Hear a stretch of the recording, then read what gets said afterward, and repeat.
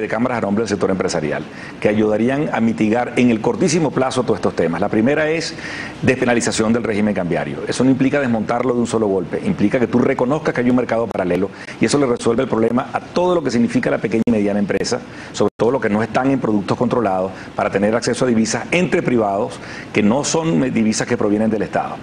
tenemos un problema serio porque diferente, la diferencia entre 630 y ese marcador es bastante alto. Pero para ello no solamente tienen que despanelizar, tienes que cambiar la ley porque la ley te obliga que todo lo que te entre por divisa se lo tienes que vender al Estado. Por supuesto, tienes que cambiar la ley puntualmente, no hace falta una revisión profunda, por eso es que hace falta una asamblea que funcione y que hagamos que abra juego y, por eso es que el tema político tiene que ir contrabalanceado con el tema el tema económico, no, es además cierto de esa medida. Estar, además de esa medida está el tema puntual que hemos solicitado y es una medida que se puede hacer en relativo corto plazo, la sustitución de la INA movilidad laboral que tanto le ha traído problemas y dolores de cabeza también a los empleados porque están allí formándose algunos eh, bolsas dentro de las, de las nóminas de las empresas de gente que no, sencillamente no trabaja por la estabilidad laboral. Es decir, nos comprometemos, vía decreto inclusive, a tener las mismas nóminas, inclusive a incrementarlas, pero que haya flexibilidad en los tribunales del trabajo y flexibilidad para tener